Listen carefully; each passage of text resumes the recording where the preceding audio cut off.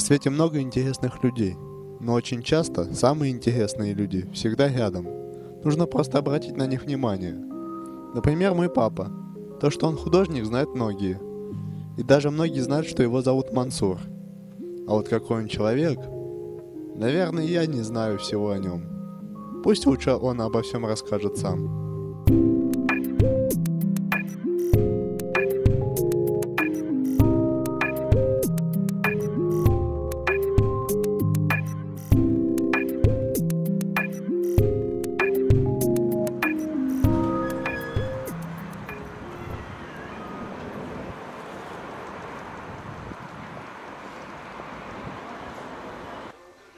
Профессию очень сложно назвать. Как, как, ну, художник, да художник, э, как бы э, живописцем меня назвать как-то сложно, потому что я живописью мало занимаюсь. В основном я занимаюсь прикладным искусством, э, деревом. Ну, иногда я занимаюсь и графикой, иногда и живописью занимаюсь. Иногда и оформительским искусством как бы занимаюсь, как бы дизайнерской. Это. Учился я в Кемеровском художественном училище. Первый выпуск 76 -го года. Ну, первый выпуск как, как бы э, набирали народу много, э, потом отсеивались. Народ был в основном взрослые уже, люди шли, которые уже знали, зачем, там, зачем куда, кто. И в основном вот из первого выпуска, первого, второго, где-то третий выпуск, вот сейчас самые э, такие художники, которые в Союзе художников это в основном вот первый, второй, третий выпуск. Остальных вот, это не видно, куда-то они делись. Каждый год выпускают училище, но они теряются, не появляется новый кадр. А в основном вот все, вот, э, э, Женя Щербинин, председатель Союза художников, сейчас он первый выпуск, э, Саша Макеев, он второй выпуск, Вася Фоломкин первый выпуск, Андрюша Дрос, по-моему, третий выпуск. Вот там еще Вася Пономаренко это первый выпуск. Ну, в основном вот такие ребята, вот первый, второй выпуск, которые выставляются, работают серьезно.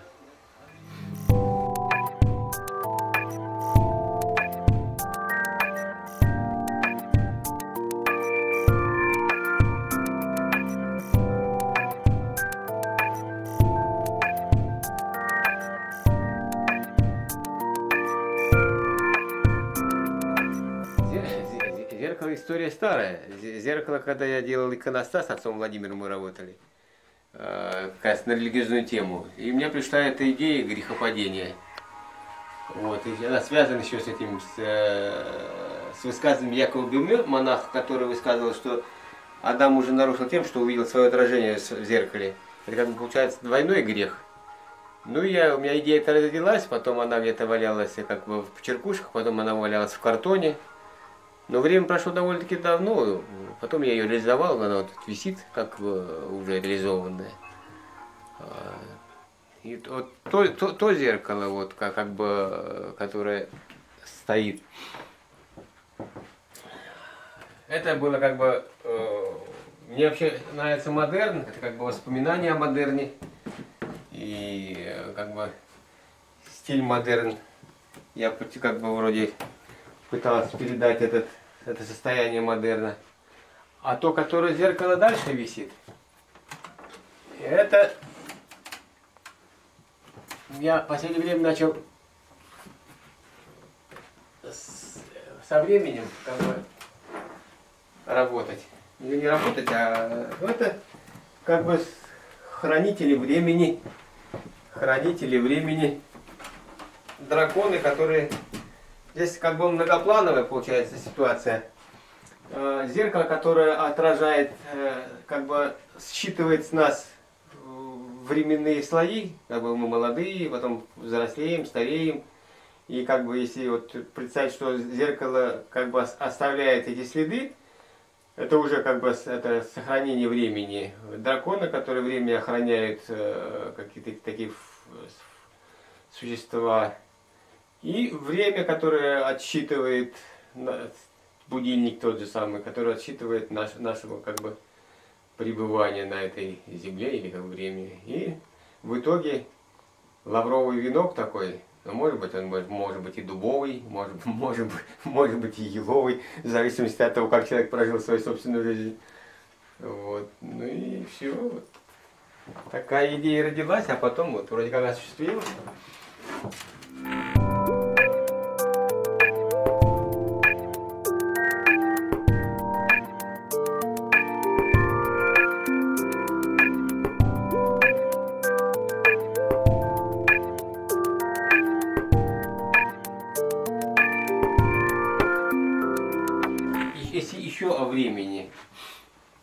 Время.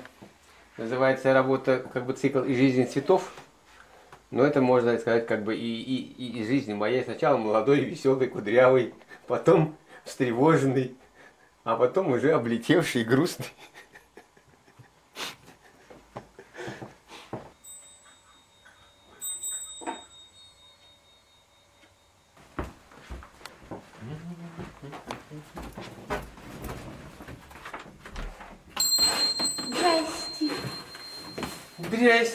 Ты чё?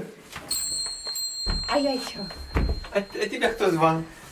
А я сама пришла.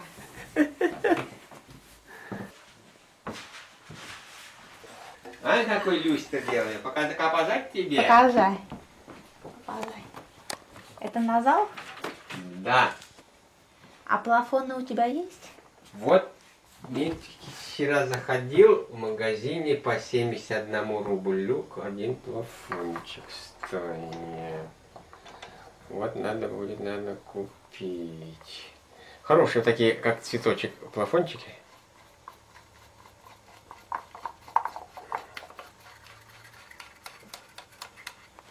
Надо еще точить будет под, под, под плафоны. Под плафоны штучки. Ну, Если я пока не буду да- дальше пихать, потом надо даже А вот то потом не вылезет. а потом не вылезет. А это цветом каким будет люстра? Ты как замочишь? Темная под, под орех, под орех. А у тебя получится, чтобы она там, допустим, в глубине была потемнее, а снаружи посветлее? Получится. И все получится.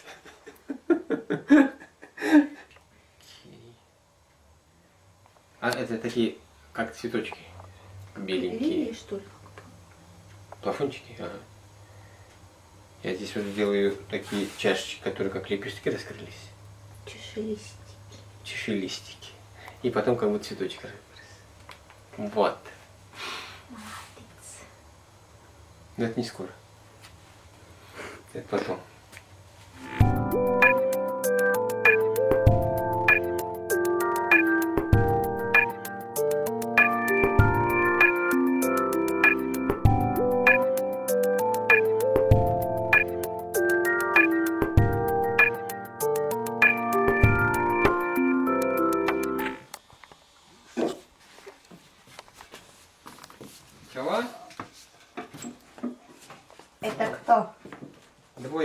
Чего?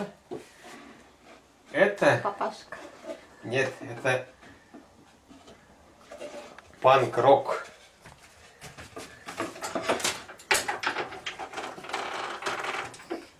Молодой человек. Пан, молодой человек, панк, который занимается роком.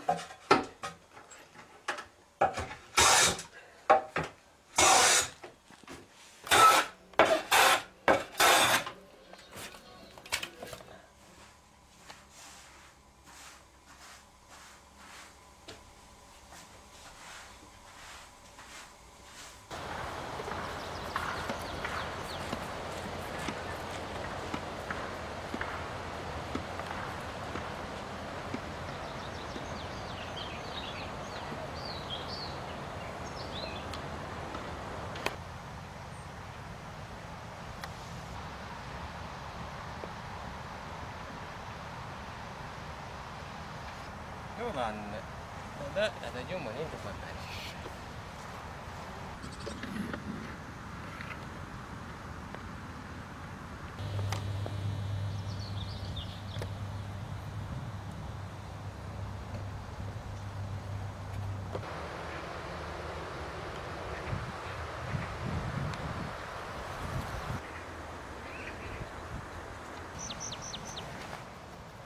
А как сегодня вообще живется художнику в новых условиях? Плоховато. Заказов мало. Партия не заказывает. Ненаглядной агитации нету. Живопись, она как бы тоже много не купишь. Одну-две работы купили и вроде как ее же не съешь, не потеряешь. Художников много.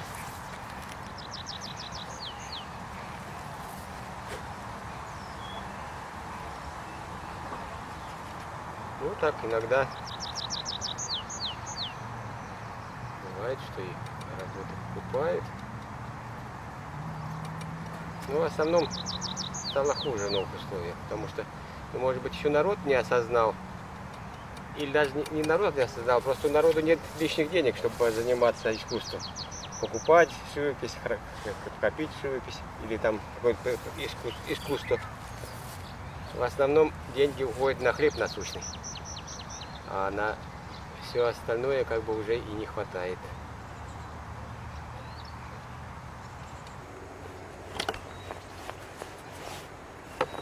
Ты думаешь, именно поэтому сейчас мало выпускников художественного училища становятся художниками?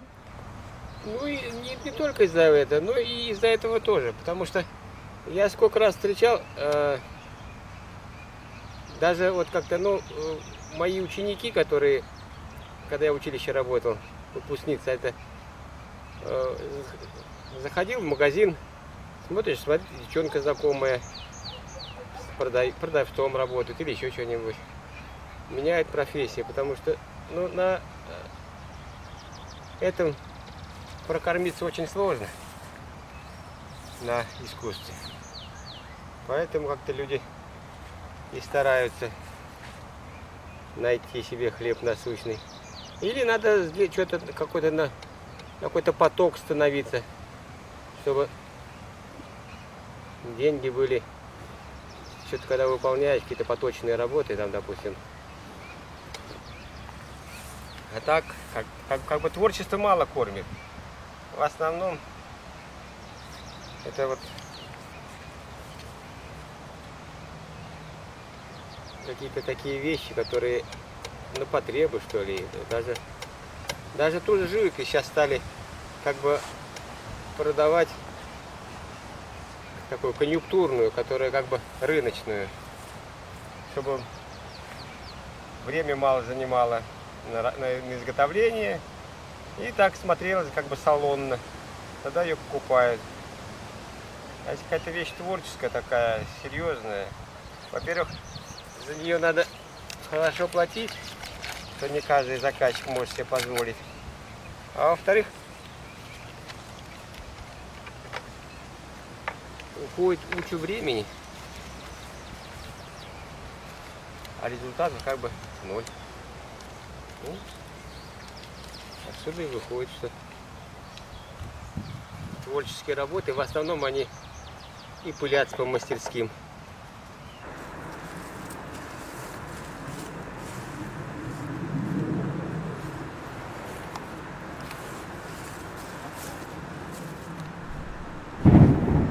Он сейчас, сейчас дождик шандарахнет нам с тобой, и мы не добежим до мастерской.